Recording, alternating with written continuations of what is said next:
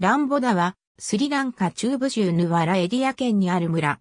イギリス海軍の発展に寄与したジョン・アーバスノット・フィッシャーの記事である。ペラデニアとヌワラエリアを結ぶ英語ハイウェイ上にあるランボダトンネルが通っている。国内最長のこのトンネルは日本の政府開発援助により2006年に工事が始まり2008年2月に完成した。総工費20億スリランカルピーは円借款によって賄われた。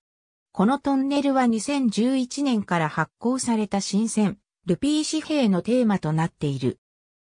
Bacon、Admiral Sir、Reginald Hugh、The Life of Lord、Fisher of Kilverstone、Volumes 1& Ed、New York、Doubleday、ISBN 1から43259365、Original Edition、Published London、Hodder Stoughton Limited、October 1929、Mackay、Ruddock Findlay、Fisher of Kilverstone、London、Oxford University Press、ISBN 978から0198224099、ラジャナヤカ、スランガ・ケーリアワッテ、RS、 Lanka's longest tunnel takes shape at Ramboda。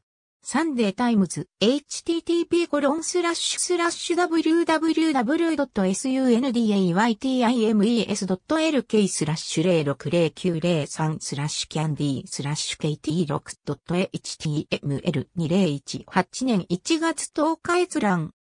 President opens longest tunnel in Ramboda。Sunday Observer、http colon slash slash archives .sundayobserver.lk スラッシュ2008スラッシュ02スラッシュ24スラッシュ new15.asp2018 年1月10日閲覧。